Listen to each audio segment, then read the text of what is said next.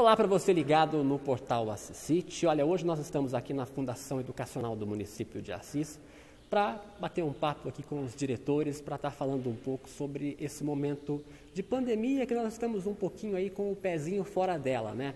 E todo esse momento conturbado que todo mundo enfrenta, né? Com muitas vidas ah, perdidas por conta desse vírus da Covid-19, a FEMA, mesmo assim, continuou o seu trabalho firme e forte, oferecendo todo o suporte para os alunos aqui da cidade, da região, em todos os cursos.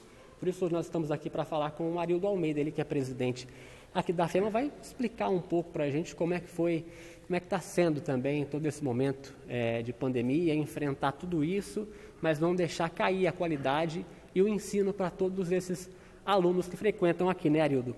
Quantos dias difíceis nós tivemos, né? Passamos mais de um ano em plena pandemia, com grandes dificuldades, mas a primavera está aí para nos mostrar um novo caminho, né? um caminho de renovação que a natureza nos ensina que os, os, processos são cíclicos e vão se renovando. E a firma vem exatamente nesse sentido. Estamos nos preparando para a retomada 2022, uma retomada forte, presencial, com os nossos alunos, professores e servidores, todos mundo à disposição da nossa comunidade e dos nossos alunos. A retomada é difícil, mas ela é importante. E retomada é com fôlego, com novo, novo vigor. A FEMA teve a coragem né, de enfrentar toda essa pandemia sem nenhuma demissão, sem nenhuma ausência, do funcionário mais simples ao doutor qualificado, todos estiveram junto conosco ao longo de todo esse processo. Nós tivemos é, a olhar, né, olhar para aquele que ficou para trás, nós fomos lá e resgatamos. Ninguém foi demitido, nós ajudamos todo mundo nesse processo todo, todos os funcionários, todos os colaboradores. Atenção para o aluno, se perdeu alguma coisa, perdeu algum um conhecimento, nós estamos resgatando esse conhecimento. Aquela família do servidor que ficou com problema de saúde, nós vamos resgatar, vamos ajudar, ou seja, ninguém ficou para trás na FEMA. E agora nós vamos para frente. Um grande lema nosso é para frente FEMA, que vai vir em 2022 com os novos vestibulares, com os novos cursos, com uma nova temperatura, uma nova energia, que é a retomada da FEMA e a importância que a FEMA tem no processo de desenvolvimento do Vale Paranapanema. Então nós estamos prontos, nós estamos nesse processo de organização, de é, reencontro de toda a direção, de todo o corpo funcional da FEMA e os nossos alunos sendo cuidados também pelos cursos de qualificação, pelos cursos qualificados, conversando com o aluno para que nós possamos reiniciar, reiniciar com forte, com propósito, da mesma forma que a primavera chegou e vai mostrar que a natureza vai se renovar a FEMA também vai mostrar a sua capacidade, a sua grandeza de fazer uma nova retomada que vem a 2022. Recentemente inauguramos aqui o prédio de ciências da saúde, né? Teve até a, a visita do vice-governador do estado de São Paulo, Rodrigo Garcia. E andando pela FEMA, a gente percebe que as obras não param por aqui. Né? Nós não paramos em nenhum momento.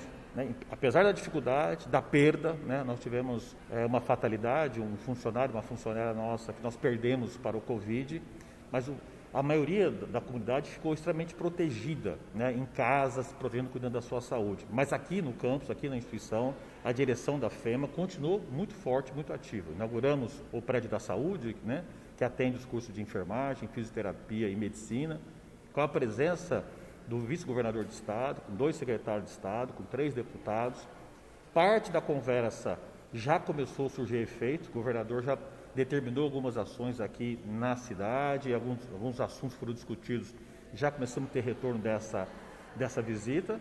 Estamos construindo agora o prédio da Engenharia e da Arquitetura, que vem forte agora a partir do ano que vem, a Engenharia e Ciências Exatas aqui no curso da FEMA, o Hub de Inovação que nós vamos inaugurar e entregar para a comunidade nos próximos dias, que já tem projetos consolidando, sendo consolidados no Hub de Inovação, que é uma nova abordagem de olhar o desenvolvimento baseado na tecnologia, baseado na ciência, baseado nas startups, como forma de desenvolver uma região que já começa a dar os primeiros passos, os primeiros frutos. E virão novos projetos. Nós já estamos preparando 2022, 2023. A gente deve anunciar isso é, próximo para o Conselho de Curadores e, na sequência, para a nossa comunidade, que vai vir novos cursos, nova ciência, nova tecnologia e mais obras para fazer o desenvolvimento da nossa instituição. Bom, agora aqui com a gente o Eduardo Vela, diretor executivo aqui da FEMA, vai contar um pouco para a gente, principalmente, Eduardo, qual o segredo né, da FEMA para continuar avançando, principalmente no momento como esse da pandemia. Bom, olá a todos aí, é um grande prazer a gente poder estar aqui né, falando com a Cicite sobre a FEMA. Né? Então, eu acho que o grande segredo aí é o comprometimento. Comprometimento, envolvimento é, do time, da equipe, das pessoas que compõem a FEMA. Então, desde o primeiro dia da pandemia, desde o início da pandemia, todos os funcionários da FEMA, é, a equipe de terceirizados, enfim, todos aqueles é, professores é, que têm algum vínculo com é, a instituição é, se dedicaram fortemente é, em garantir que a, a, a, instituição continuasse a funcionar né, dentro daquilo que era possível. Né. É, também aqui é, ressaltar é, o envolvimento dos nossos alunos é, que se é, dispuseram a enfrentar esse desafio de uma nova realidade, um novo modelo, né? A gente diz aulas, mas é um novo modelo de busca e de aquisição de conhecimento. Então, às vezes com vídeo gravado, às vezes é, de forma, a gente chama aí de síncrona, né? Mas o professor de um lado da tela, o aluno do outro. Então, eu vejo que a, o grande segredo aí é, foi esse comprometimento das pessoas que compõem a FEMA, né?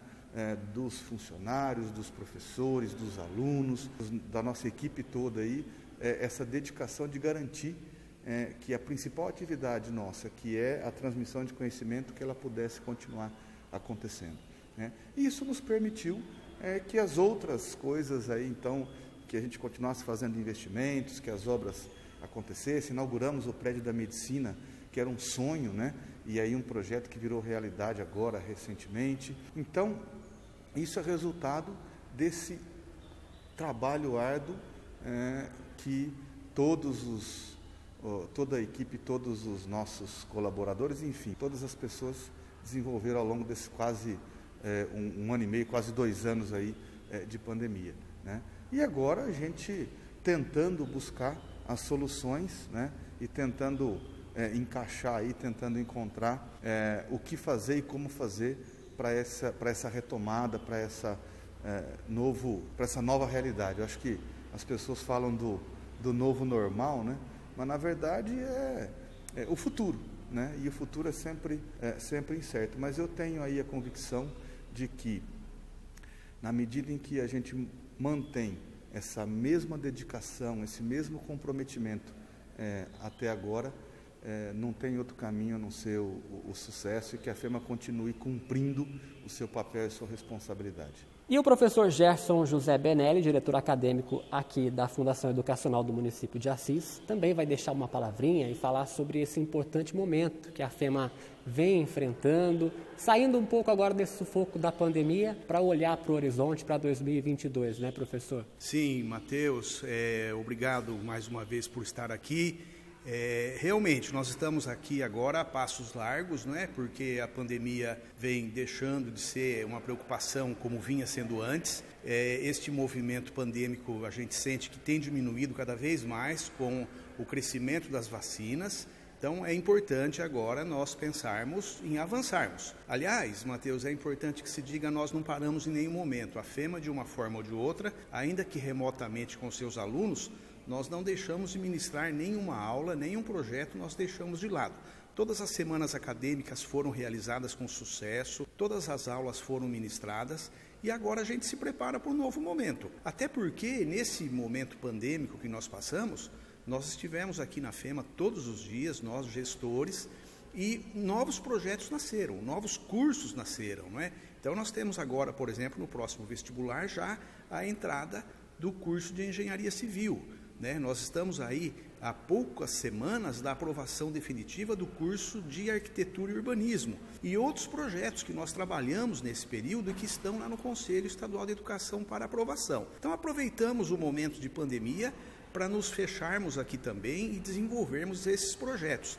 Temos lá o projeto da educação, do curso de educação física, temos o projeto da, do curso de pedagogia 100% em EAD, e outros projetos que estão vindo. Então, é um momento importante agora essa arrancada e nesse final de ano nos preparando para 2022, termos aqui os nossos alunos de volta com todas as nossas atividades e graças a Deus e graças a toda a nossa equipe, os nossos gestores, os nossos coordenadores e professores, podemos dizer certamente que avançamos, avançamos bastante e saímos é, desse período com uma vitória muito grande, porque não perdemos né, é, pessoas próximas, na verdade, a gente sai dessa pandemia com essa sensação de que os que estavam aqui mais próximos ou estão mais próximos de nós conseguiram se preservar com todos os cuidados e vamos em frente. É um momento de recomeço, é um momento de esperança novamente e vamos em frente.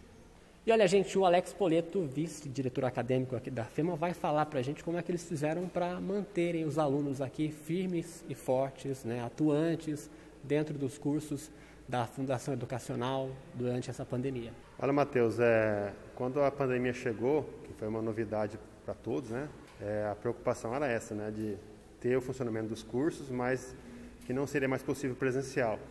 Então, em duas, três semanas, nós contratamos uma ferramenta né, pra, específica para isso, é, junto com a, com a, equipe de informática da FEMA e nossos professores, nós treinamos nossos professores, criamos para cada professor, cada aluno da FEMA, um usuário é, com essa ferramenta, um usuário acadêmico, e fizemos vários é, vídeos explicativos para os alunos, coordenadores, professores, de como seriam feitas as aulas. E depois de umas três semanas, as aulas começaram, foram retomadas logo na sequência, né? E os alunos se adaptaram muito bem. Né? Então, o professor ministrava, e ministra ainda, né? As aulas da casa dele, ou da onde ele estiver, transmite essas aulas pelo Teams, é uma ferramenta que nós utilizamos. O aluno assiste a aula pelo Teams. Essa aula é 100% é, online, assim, o aluno, o professor está ali realmente dando a aula naquele horário, a aula não é gravada. Depois que o professor termina aquela aula, ele pode expor a tela dele, explicar as ferramentas, usar outros recursos como mesa digitalizadora que a gente estava usando, tá, está usando ainda.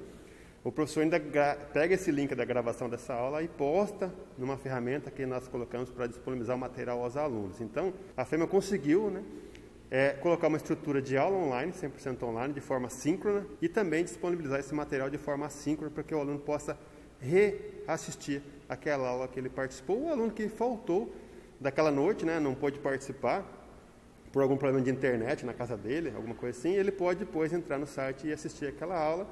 Lembrando que todas as aulas de forma online foi feita chamada também, o aluno tem, tinha que estar ali presencialmente, de forma online, assistindo a aula. Então nós acreditamos que o trabalho foi muito bem feito. Estamos agora finalizando quase aí 2021 nesse mesmo modelo, né?